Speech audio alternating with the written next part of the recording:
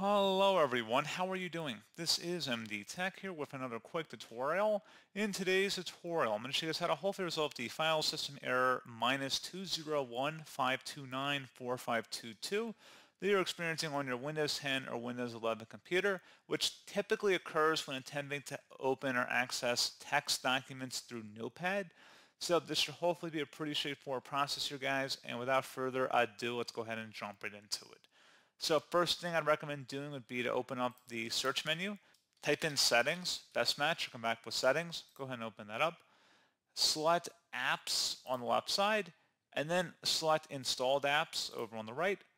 In the search apps field, type in Notepad. Go ahead and select the three-dotted icon next to Notepad, and then select advanced options.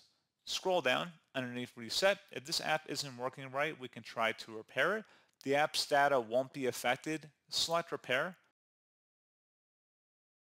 And then at this point, see if the issue has been resolved. If not, you can select the second option here, where if the app still isn't working right, reset it. The app's data will be deleted. Select reset.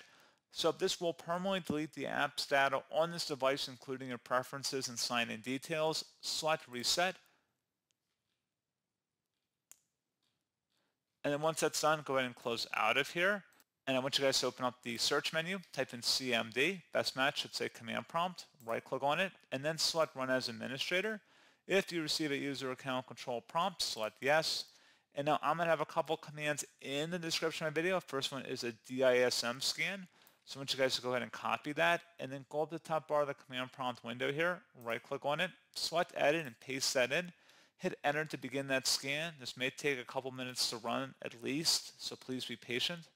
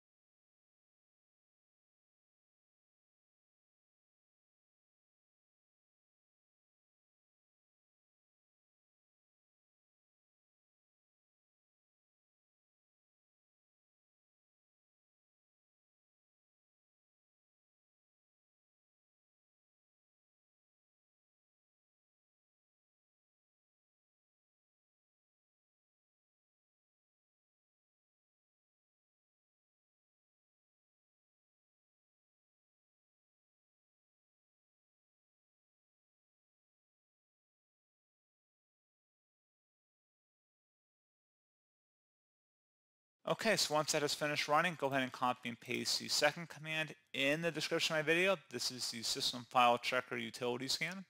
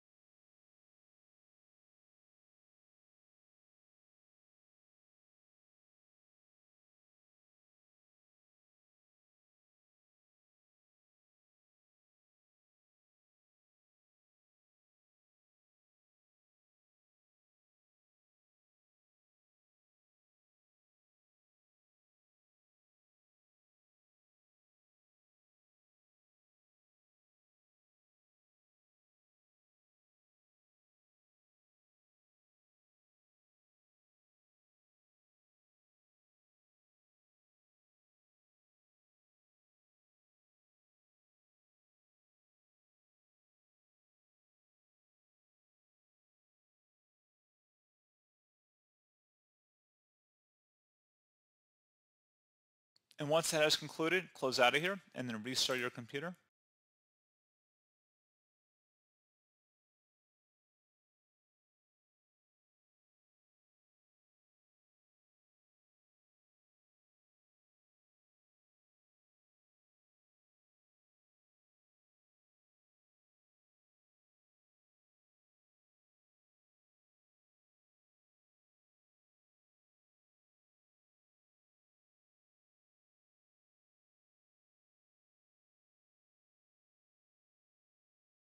And there you go, guys. Hopefully this pointer issue has been resolved. And as always, thank you for watching. I do hope I was able to help you out, and I do look forward to catching you all in the next tutorial.